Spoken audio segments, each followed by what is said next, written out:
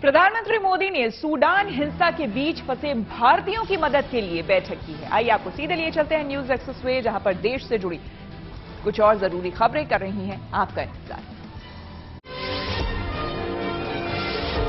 Sudan में हिंसा के बीच फंसे भारतीयों को बचाने के लिए केंद्र सरकार ने अभियान तेज कर दिया। इस मुद्दे पर प्रधानमंत्री मोदी ने एक बैठक की। इसमें विदेश मंत्री एस जयशंकर समेत कई अधिकारी भी ऑनलाइन शामिल हुए।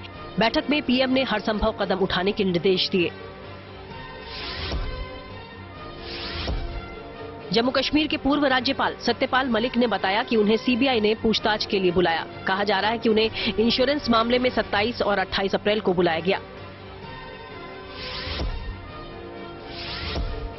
कर्नाटक के बेंगलुरु के पास एक किसान और पीएम मोदी से जुड़ा वीडियो वायरल हो गया। वीडियो में दिखाई दिया कि ये किसान बारिश में पीएम के कटआउट को कपड़े से साफ़ कर रहा है।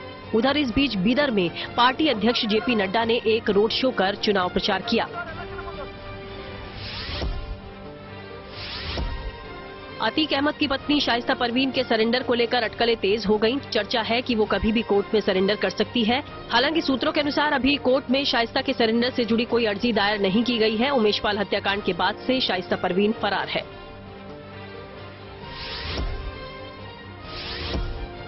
सोलहवें सिविल सेवा दिवस पर दिल्ली के विज्ञान भवन में एक कार्यक्रम आयोजित किया गया। इसमें प्रधानमंत्री मोदी ने भी हिस्सा लिया।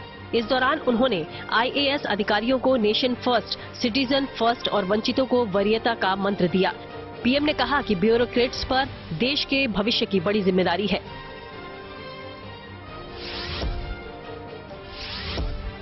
पुंछ आतंकी हमले की जाँच तेज कर दी गई। इस हमले की जाँच एनआईए को सौंपी गई है। ऐसे में उसने घटनास्थल पर पहुंचकर सबूत जुटाए।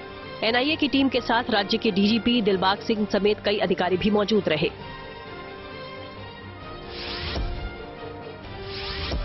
भारत में ईद का चाँद नज़र आया। इसके बाद अब शनिवार को ईद उल फितर का त्यौहार मनाने का ऐलान किया गया। ईद से एक दिन पहले देश भर के बाजारों में रौनक नज़र आई। दिल्ली में भी बाज़ार सजे दिखाई दिए।